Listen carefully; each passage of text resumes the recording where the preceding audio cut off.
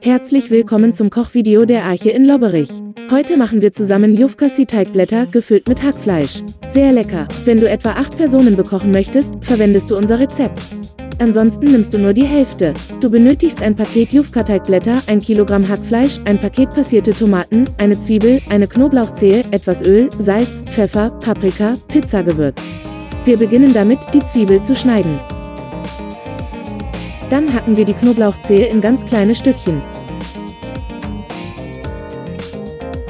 Nun geben wir etwas Öl in die Pfanne. Die Herdplatte nun auf höchste Stufe stellen, kurz 30 Sekunden warten. Dann wird das Hackfleisch in die Pfanne gegeben und ein paar Minuten angebraten. Nun würzen wir das Ganze mit jeweils einem Teelöffel Salz, Pfeffer, Paprika und Pizzagewürz. Zwiebeln und Knoblauch geben wir dann dazu.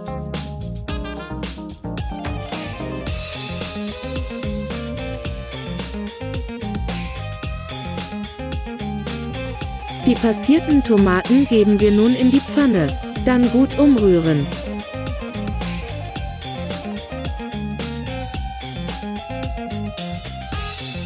Eventuell noch nachwürzen, falls es zu Armin Laschet schmeckt.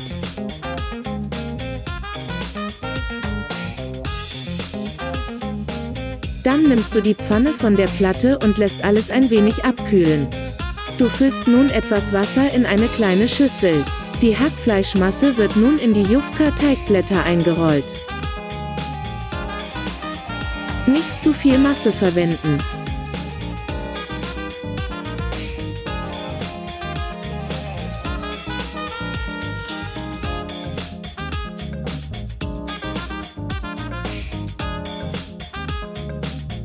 Die Kanten mit Wasser bestreichen und andrücken.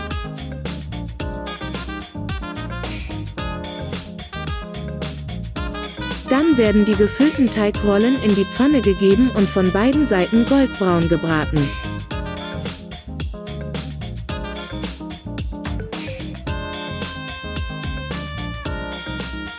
Fertig sind die leckeren Jufka Hackfleischrollen.